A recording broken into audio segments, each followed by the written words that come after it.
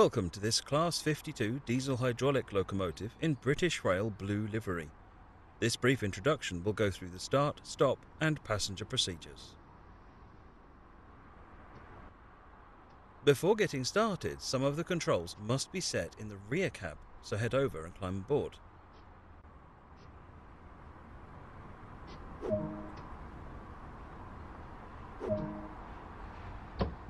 To allow fuel to flow to the engines, the fuel transfer pump isolating switch must be set.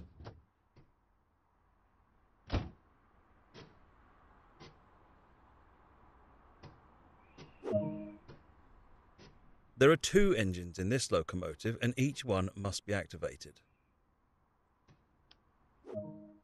A handbrake is located in each cab and they both need to be released before moving.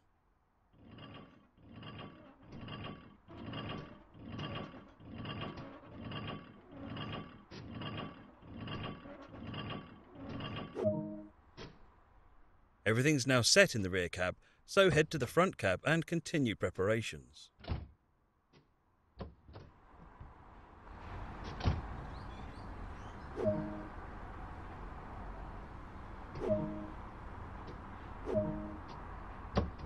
Continue the startup process by setting the battery isolation switch.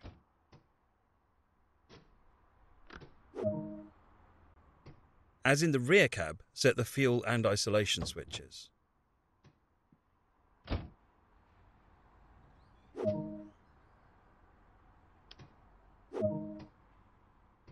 A lot of time will be spent in the driver's seat. Take a seat to continue. The master key is used to activate the control desk. Set the reverser in preparation to start the engines. This locomotive features two separate engines that are started independently. Start with the first engine.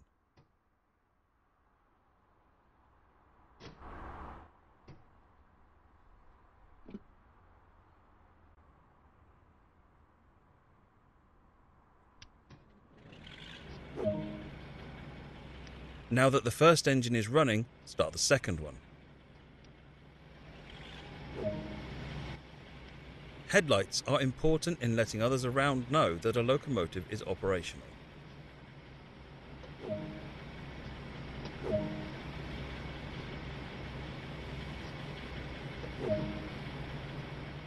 Give a quick glance of the platform to ensure all is safe and then unlock the doors.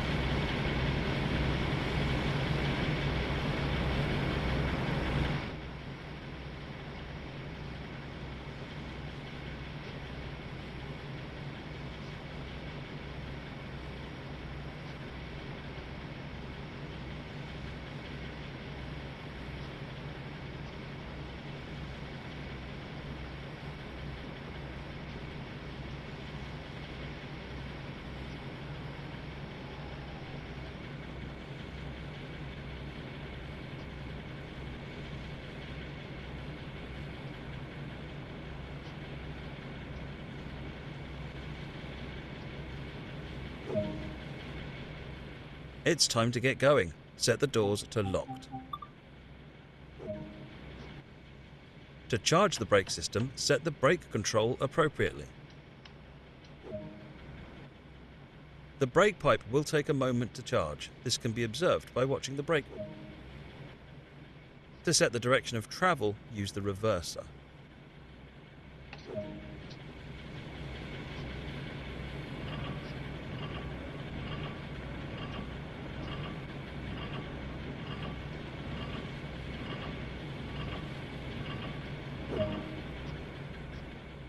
Increase the throttle to start moving.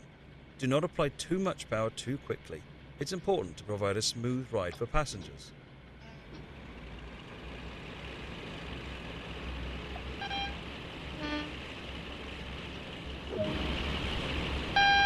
With the train now moving, it's possible to apply more power and focus can be diverted towards achieving a desired speed.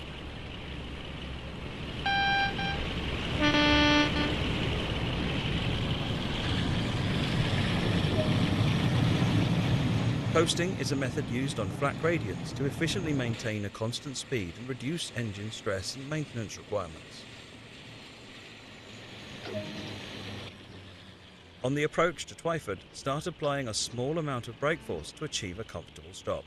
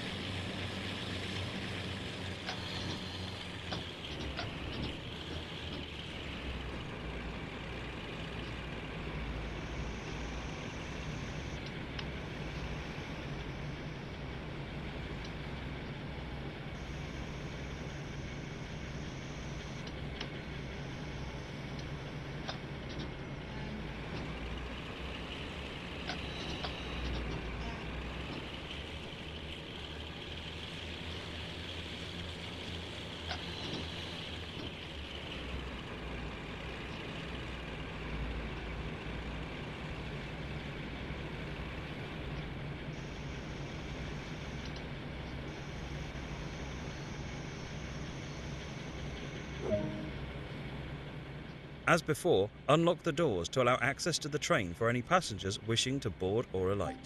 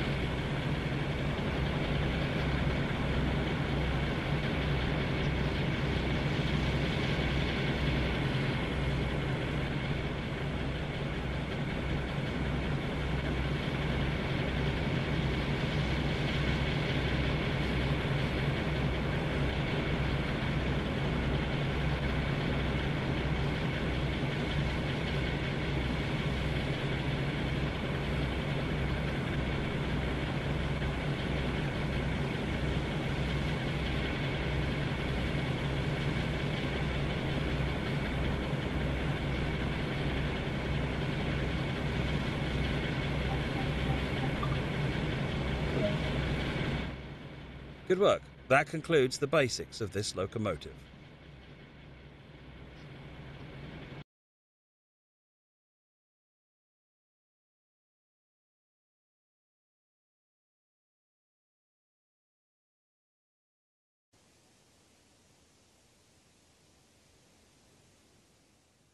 Welcome to this Class 101 three-car diesel mechanical multiple unit in British Rail blue and grey livery. This brief introduction will cover startup, stopping and passenger operations. Before getting started, some of the controls must be set. Red lights are used to signify that this is the rear of the operational train.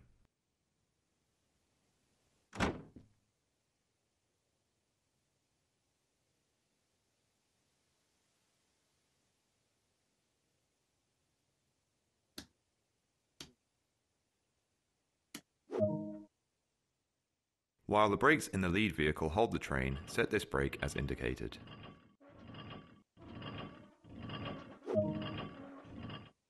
Everything's now set up, so head to the front of the train to continue preparations.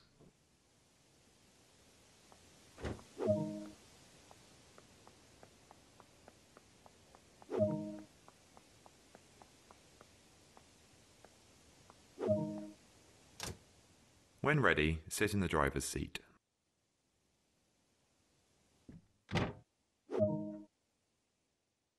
Control circuit key is used to activate the driver's desk.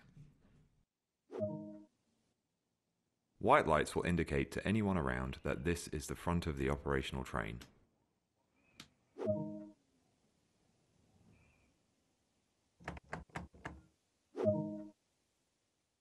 This train features two engines in each driving vehicle. Now start the engines in the rear vehicle.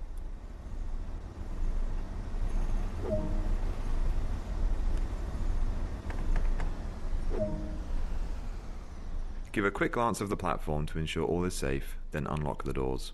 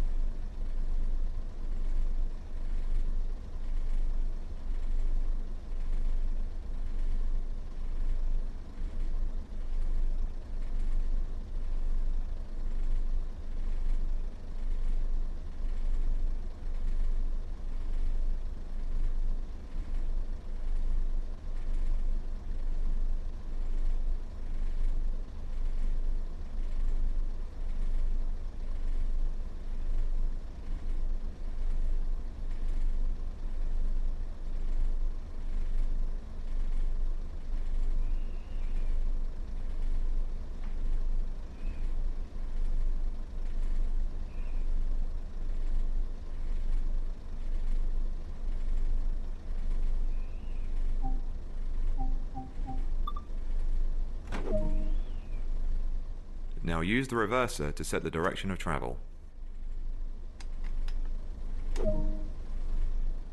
It's time to move. Set the handbrake as indicated.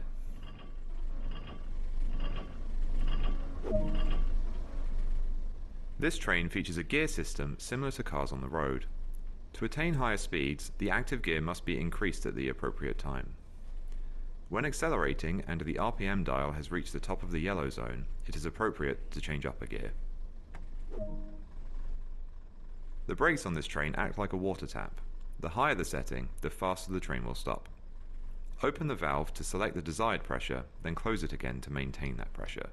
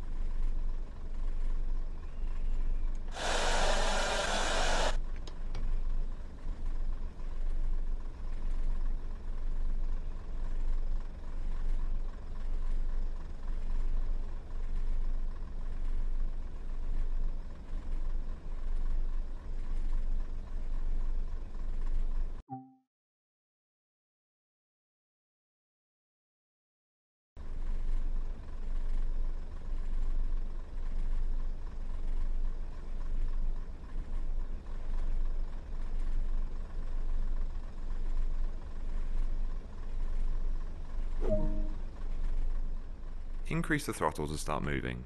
Do not apply too much power too quickly. It's important to provide a smooth ride for passengers.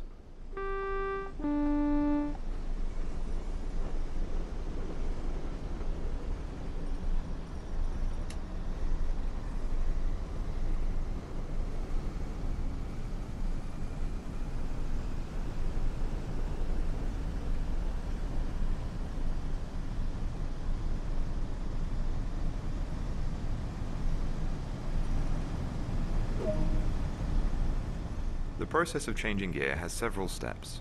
Set the throttle to idle and allow the engine RPM to reduce below the yellow zone. Engage the new gear, then return to the desired throttle application. Let's try.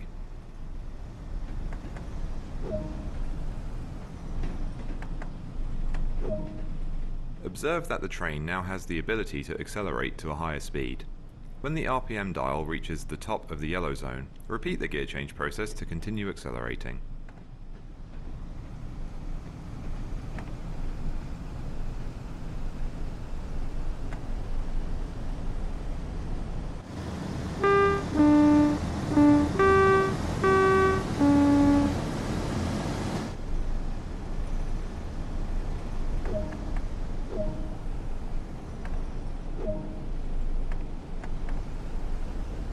There's a short distance between here and the next stop, so be sure to manage the train and prevent overspeeding.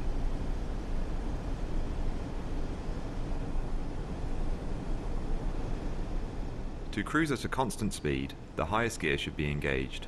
This reduces the speed the engine operates at and is fuel efficient.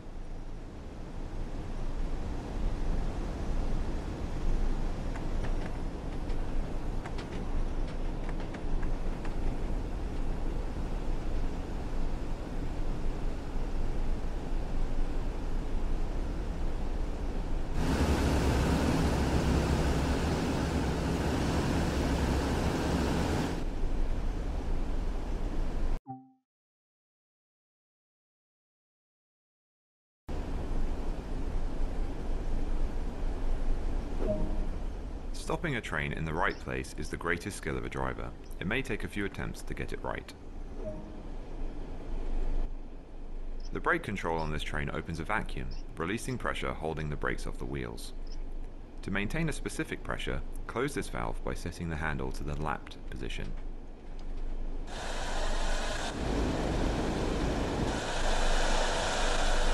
Aim to be doing no more than 15 miles per hour when the train reaches the platform.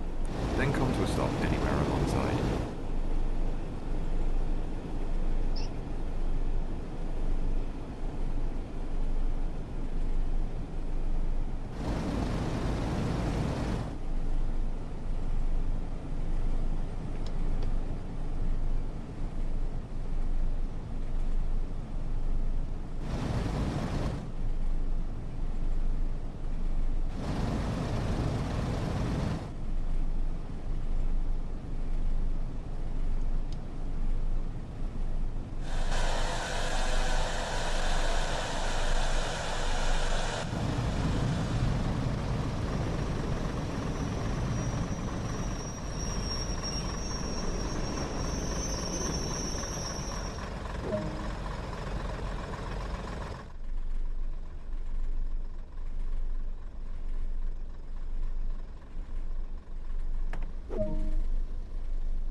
Well done. Practice makes perfect. Give a quick glance at the platform to ensure all is safe and then unlock the doors. Good work. That's the basics covered. A manual can also be obtained that provides more detail about the full functionality of this train and more.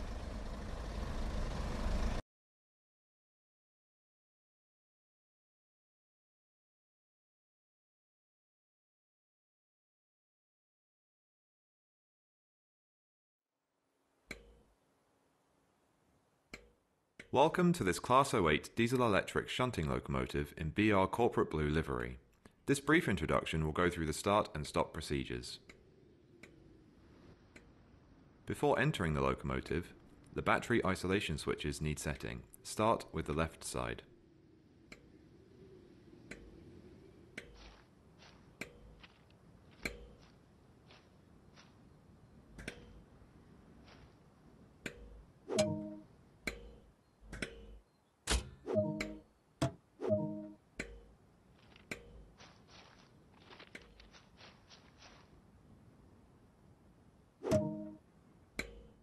As with the left battery isolation switch, set the right side.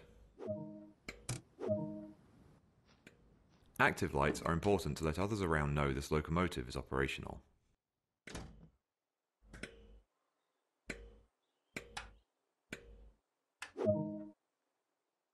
A lot of time will be spent driving, so take a seat to continue. Go ahead and start the locomotive. Now that the engine is running, the master switch needs to be set.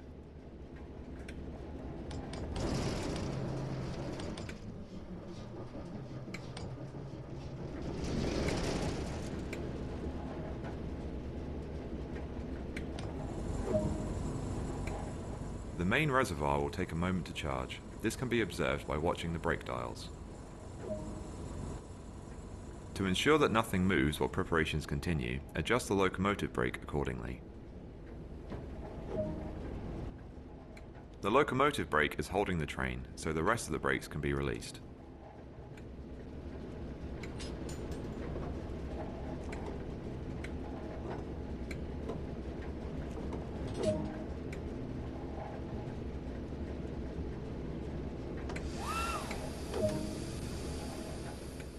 Reverser is used to set the direction of travel.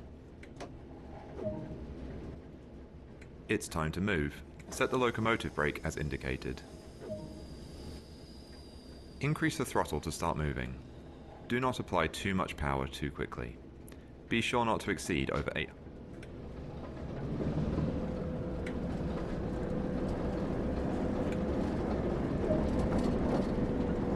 With the train now moving, it's possible to apply more power and focus on achieving a desired speed.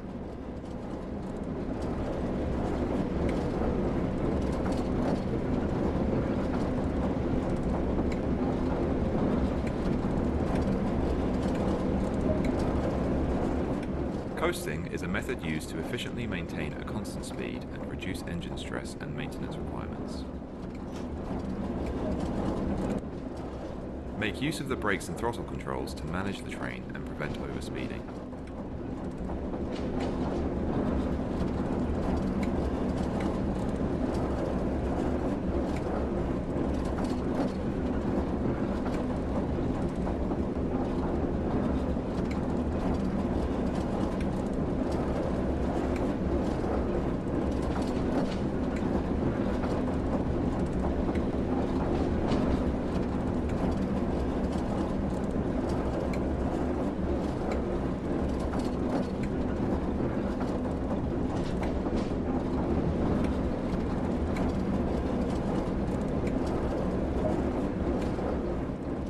Approaching the stop marker, apply a small amount of brake force to achieve a comfortable stop.